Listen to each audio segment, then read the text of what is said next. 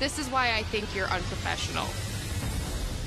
It's childish. And honestly, if this is how your attitude was when you were a kid, I don't blame your parents for giving you up.